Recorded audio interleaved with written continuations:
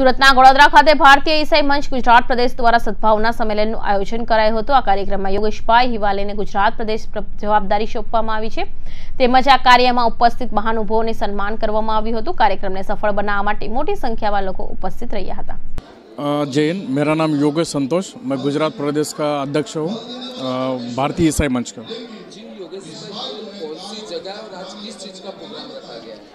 Sir ये सद्भावना सम्मेलन है। ये सूरत सूरत के अंदर गोड़ादरा विस्तार में आता है।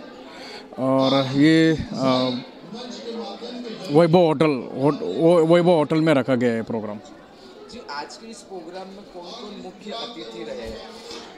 हिमालय बोगवाला मैडम है और हमारे राष्ट्रीय